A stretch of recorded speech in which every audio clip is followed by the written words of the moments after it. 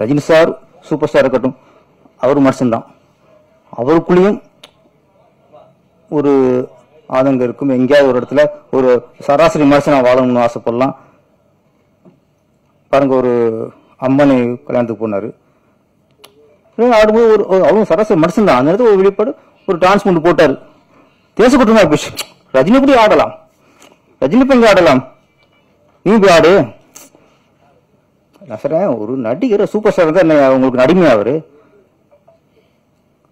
எப்போதும் அவர் அவரு எல்லா உணர்ச்சியும் கட்டுப்படுத்தி அப்படியே அமைதி அப்படியே முத்திரை வச்சுட்டே உட்காரணும் அவரு? சில இடங்கள்ல அவர்களும் மனிதர்களாக சராசரி மனிதராக வாழ விடுங்க. இதெல்லாம் போய் ஒரு பெருசா ஒரு விமர்சனம் பண்ணிக்கிட்டு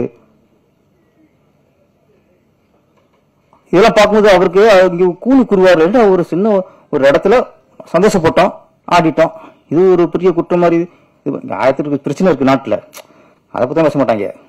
நடிகர் வந்து அங்கே ஆடிட்டாரு.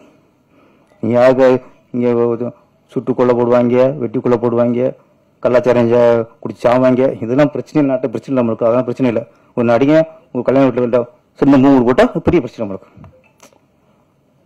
அசனா அசனா ஆதேஷ் பழுதா நம்ம மகேந்திரன். இவரில் என்ன? பெரிய நடிகை ஆயிட்டாரா? பெரிய நடிகர் என்ன போடிக்கு இருக்காரு. எல்லா திறமையும் அவருக்கு இருக்கு. டான்ஸ் ஆடுவார் நல்லா ஃபைட் பண்ணுவார் சென்டிமெண்ட்ஸ் பிச்சு உதடுவார் ஏன் இன்னும் போகிற எத்தனை வருஷம் போவார் அவர்? ஆனால் உருவாக்கி அதுக்கான இடத்த பிடிப்பாருங்க அவங்க பிடிப்பாங்க அவங்க. ஆயுஷ் பழமும் இதுக்கு இது இன்னும் மிகப்பெரிய ஒரு இடத்த அவர் பிடிப்பாரு. ஆனால் என்ன இவங்களுக்கு போராட்டத்துக்கு இருக்கிறதே உங்களுக்கு வாழ்க்கை இல்லைங்க. ஒரு சேர்த்துல அவங்களுக்கும் ஒரு ஒரு வெற்றி அடைஞ்சிட்டோம். அப்படி ஒரு வரணும்.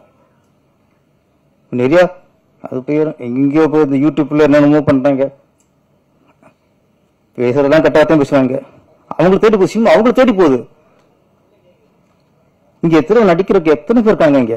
எவ்வளவு கஷ்டப்பட்டுருக்காங்க எத்தனை நடிகர்கள் வீட்டோட கொடுக்காம கஷ்டப்பட்டுருக்காங்க நம்ம யாரை தேடுறோம்? இயக்குநர்கள். அசிங்கமா ஆபாசமா பேசுறவங்களையும் அது மூலியமா வியூவர்ஸ் ஏத்துறவங்களுக்கும் அம்மா தேடி இருக்காங்க ஏற்கனவே வியூவர்ஸ் இருக்கு அப்பதான் போடிட்டு இருக்கு. நம்ம கேபி சங்கர் சார் எவ்வளவு விஷயம் என்ன சொல்றேன்? வர புடிசூர்ல வந்து ஒரு ஒரு டேரக்டர் நம்பிடுறாங்க இந்த கதை நல்லா இருக்கு படம் பண்ணிடுவோம் ஒன்று வந்துடுறாங்க தயவுசெய்து வர புடிசூர்கள் இயக்குனர் மட்டும் நம்பாதீங்க. கதை பிடிச்சிருக்கா படம் பண்ணுங்க. ஆனா அதுக்கு முன்னாடி சினிமானா என்ன? டேட்டானா என்ன? கன்வென்ஷன் என்ன?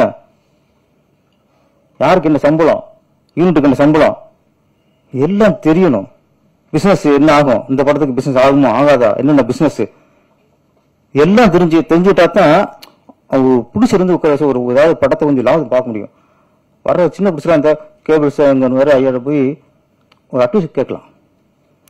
ஏதாவது பிடிச்சிருக்கிறது எத்தனையோ பேர் பிடிச்சிருக்காங்க. நிறைய ஒரு அனுபவங்களும் பிடிச்சிருக்காங்க. அவங்கள்ட்ட கொஞ்சம் கேட்டு தெரிஞ்சுக்கணும். நீங்க முதல்ல உங்களுக்கு கதையை கேளுங்க கதை பிடிச்சா படம் பண்ணுங்க. அதுக்கப்புறம் சினிமானா என்ன? இந்த படம் டேரக்டர் இவ்வளவு படிச்சுட்டு சொல்லிட்டாரு. இது சரியா வருமா? இதுக்கான ஒரு ஆலோசனை சார் நீ ஆலோசனை கேட்காம படத்தை எடுத்துக்கிட்டு கடைசியா பிசினஸ் பண்ண முடியல எந்த ஏரியா விற்கல படம் வந்து ஓ, போட்ட காசு வர்றதை விட பின்னாச்சுன்னா அதுக்கப்புறம் ரிலீஸுக்கு பணம் கொடுக்க வேண்டியிருக்கு நிறைய பேர் படம் ரெண்டு கோடி படம் பண்ணிடுறாங்க. ஒரு பைசா தீர்ப்பு வர மாட்டேங்குது. அப்புறம் ரிலீஸ் பண்றதுக்கு நாற்பது லட்சம். இதுதான் இன்னைக்கு நிலைமை. அதானே சார்? Caption sir?